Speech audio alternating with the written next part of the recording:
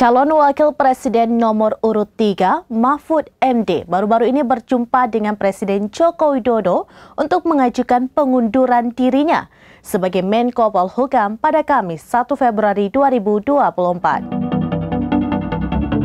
Cawapres nomor urut 3 Mahfud MD baru-baru ini menghadap Presiden Joko Widodo untuk mengajukan pengunduran dirinya sebagai Menteri Koordinator Bidang Politik Hukum dan Keamanan atau Menko Polhukam pada Kamis 1 Februari 2024 kemarin. Adapun keputusan Mahfud untuk mundur sebagai menteri di Kabinet Indonesia Maju pimpinan Jokowi ini pun banyak direspon berbagai pihak. Di antaranya direspon oleh Wakil Presiden Republik Indonesia ke-10 dan ke-12 Yusuf Kala dan Cawapres nomor urut 1 Muhaimin Iskandar atau Caimin.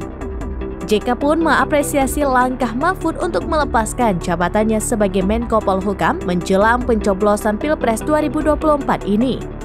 Karena mundurnya Mahfud ini mencegah terjadinya konflik kepentingan saat Mahfud berkompetisi di Pilpres 2024.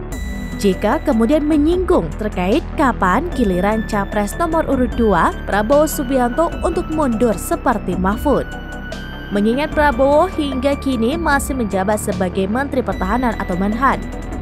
Lebih lanjut, JK menyebut Prabowo turut disarankan untuk mundur sebagai Menhan karena agar saat kampanye masyarakat tidak bingung sehingga jelas apa tujuan Prabowo ke daerah bertemu masyarakat, apakah untuk kampanye atau menjalankan tugas sebagai menhan.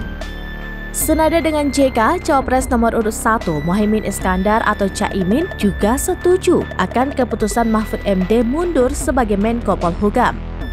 Karena Caimin menilai mundurnya Mahfud ini akan bisa meningkatkan suasana demokrasi. Menurut Caimin, mundurnya Mahfud MD dari kursi jabatannya saat ini seharusnya dapat ditiru oleh para pemegang jabatan yang ikut dalam kontestasi politik termasuk Menteri Pertahanan Prabowo Subianto dan Wali Kota Solo Gibran Raka Buming Raka. Demikian informasi terkini Syedaralun. Saksikan terus beragam informasi lainnya. Jangan like dan share seluruh akun serambinews.com.